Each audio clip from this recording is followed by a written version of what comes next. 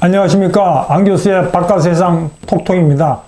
중국의 1대1로 정책은 크게 두 가지입니다. 육상 실크로드하고 해상 실크로드 해상 실크로드는 주로 이제 인도양에서 중국이 영향력을 행사하기 위해서 굉장히 노력하고 있습니다. 그 캄보디아 인도양 연안국가인 캄보디아 스리랑카 에멘 탄자니아 이런 데 이렇게 항구 건설을 지원해 주면서 지금까지 이런 나라들에서 해군 기지를 확보하는데 성공했습니다. 이 모든 것이 이제 인도양에서 제해권을 확보해 갖고 어, 걸프만에서 오는 석유가 안정적으로 중국으로 갈 수 있게 하기 위한 것이죠. 근데 제가 미국에 있을 때 우연히 책방에 들렸다가 저런 책을 봤어요. 근데 어, 제목이 눈에 딱 들어오더라고요. When China ruled the sea. 그러니까 전, 중국이 전 세계 바다를 지배한 적이 있다. 그래서 제가 읽어봤거든요. 아, 근데 제가 재미있는 사실 발견했어요. 600년 전에 중국이 인도양의 제해권을 장악하고 있었어요. 정확히 1433년에 중국의 함대가 이 동남아, 자바, 인도, 벵걸만, 뭐 걸프만 다 거쳐갖고 지금의 마다카스카까지 그냥 수시로 항해 네트워크를 갖고 있었고요. 그 당시에 그 서양의 함대는 지중해, 아, 뭐, 베네치아 상인 뭐 항해술이 뛰어났지만 지중해 왔다 갔다 하고 그나마 포르투갈이 그 해양국이라고 꿈짝꿈짝 되는데 1434년은 저 서사하라 옆에는 보자도르고까지밖에 진출 못했어요. 저 사진에서 보든지. 그러니까 쉽게 말하면 그 당시에 뭐 전 세계 바다라는 게 뭐 태평양 아니면 인도양이고 지중해는 매거든요. 전 세계 바다를 중국이 지배했던 거예요. 이게 놀라운 사실이죠. 그 어떻게 중국이 이렇게 했냐면 정화제득이 명나라 시대 영락제의 지위를 받은 정화제득이 1405년부터 1433년까지 일곱 차례나 쫙 인도양을 항해하고 아프리카 케냐에 말린다. 그 다음 마다카스카르를 갔는데 이건 완전히 조공 무역 체제를 확립한 겁니다.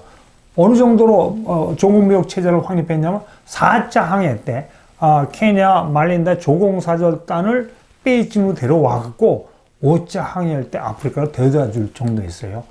어, 그 당시 그 아프리카 기린이 기린을 갖고 왔습니다. 베이징의 자금성으로. 그리고 천자가 기린은 굉장히 성스러운 동물이라는 게 중국 역사에 있거든요. 그러니까 천자가 자금성 앞에 나서 기린을 맞았다고 할 정도로 하여튼 아프리카 기린 가지할 정도로 이 중국이 그, 그, 이 인도양을 제패, 제해권을 장악하고 있었는데 그 당시 중국의 해군력은 놀랍죠. 바스코다마가 그 인도 항로 개발한 포르투갈의 그 항해사인데 바스코다마가 카라벨선 4척 그, 그림에 나오는 겁니다. 카라벨 4척 갖고 선원 160명 데리고 그 희만봉 돌아서 어, 인도 그 양 인도 항로 개발했거든요.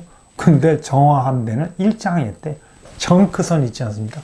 정크선 317척에 2만 7천 명의 선원을 데리고 어이 마다가스카르까지 동아프리카까지 인도양을 항해하면서 왔다 갔다 한 겁니다.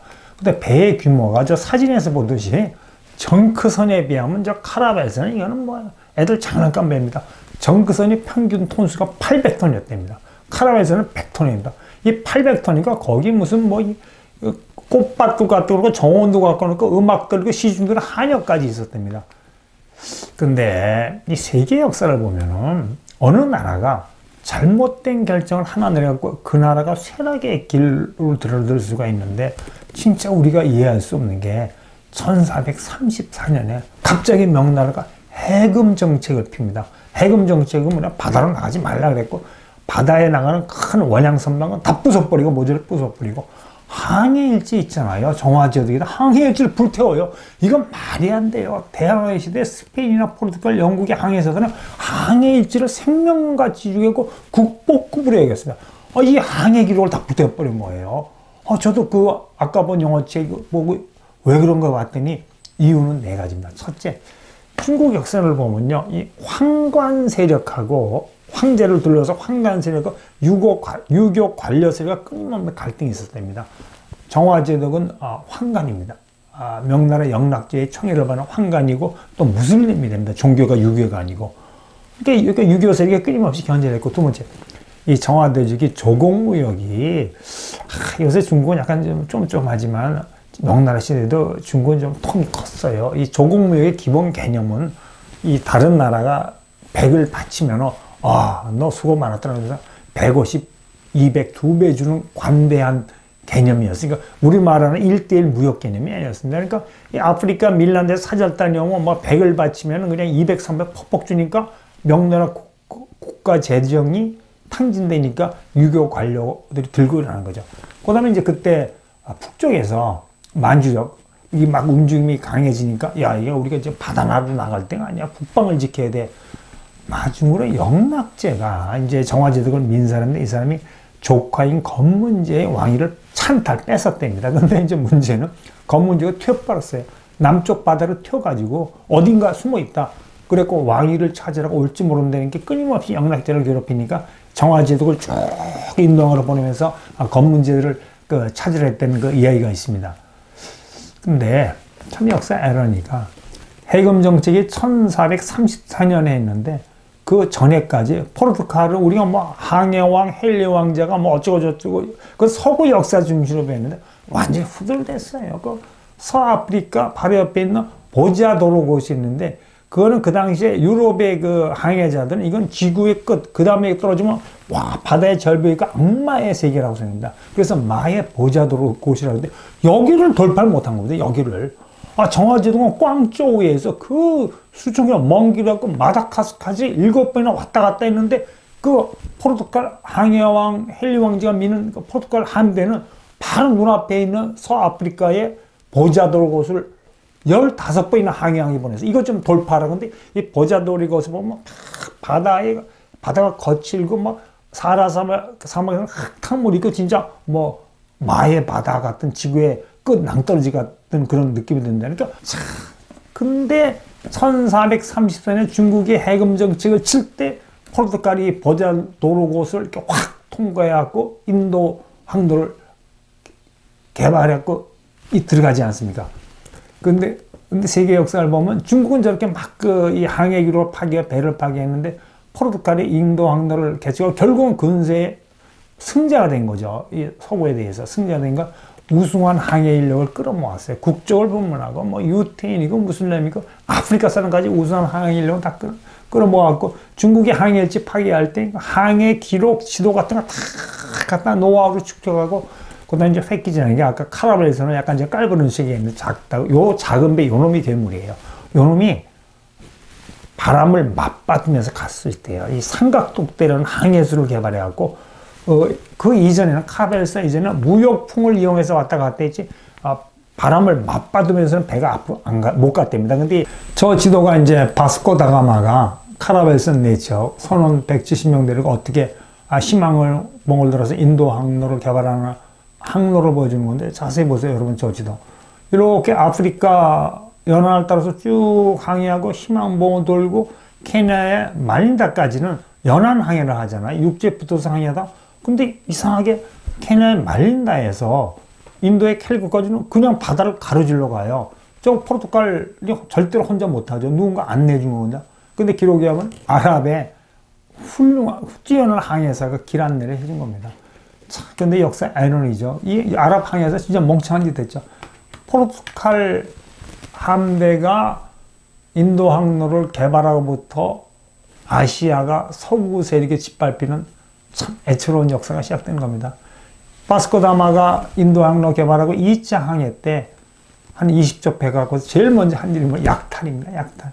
그 이 메카 순례하고 들어 순례자 아랍 배를 그냥 무자비하게 침몰시켜 약탈하고 그 다음에는 그 당시 인도양은 어, 무슬림 함대가 잡고 있었습니다. 근데 이 저 배가 이제 무슬림 함대의 전쟁 배거든요. 근데 재밌는 게 세계 역사에서 어, 서양의 배는 대못, 쇠못을 써서 이렇게 배를 매겼답니다. 우리나라 전통 배맹이로 보면 못 안 씁니다. 쇠못 안 쓰고 나무와 나무를 엮어서 나무 못을 나무 엮어서 배를 매기거든요. 근데 무슬림 사람은 쇠못도 안 쓰고 나무 나무 엮어서도 안 매길고 끈으로 묶었대요 배와 배를. 그러니까 엉성하니까 이 포르투갈의 함대한테 못 당하는 거죠. 그 다음에 이제 그 인도양의 제어권을 잡자마자 그냥 식민지 역사죠. 인도의 캘리커 포르투갈 식민지 되고 나 말라카 되고 그다음에 그다음에 제가 더 이야기 안 해도 참 안타까운 그 아시아가 서구 세계 짓바뀌는데 우리가 지금 여기서 역사에서 별 교훈은 뭐냐면은 그때 중국이 현명하게 결정을 해갖고 해금 정책만 안 썼으면은 아 중국 저는 지금 동아프리카 마다카스카르가 홍콩이 된다고 생각합니다.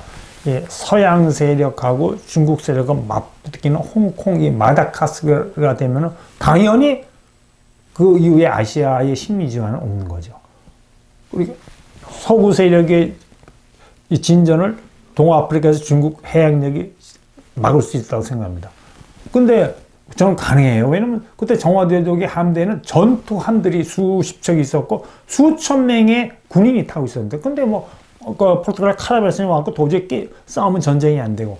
루이스 레바데스인데 루이스 레바데스에 하면은 세계 역사에서 대규모 해군력을 가지고 막 항해를 하면서 평화적인 항해를 한 나라는 정화제독의 항해밖에 없다는데 뭐 역사적으로 포르투갈 스페인은 말이 그렇지 아, 포르투갈 그 함대가 아프리카 진출해서 서아프리카 세네갈 그다집에서 제일 먼저 한 일이 뭐냐면 노예를 인간 노예를 상품을 가져온 거고 스페인도 뭐 라틴, 라틴 아메리카 지에서 얼마나 착취하지 않았습니까? 또 대양 제국의 함대는 또 막 식민지화를 했고 이런 측면에서 우리가 역사에서 귀중한 그 교훈을 배운다 한 나라가 정책 결정을 잘해야 돼요. 우리나라 같은 경우는 구한말 시대에 개혁 개방을 안 하고 세국 정책에서 나라 뺏기고 그다음에 러시아도 어떤 정책 결정을 하면서 그, 그 금싸리 같은 그 알라스카를 미국의 싼값에 팔지 않았습니까?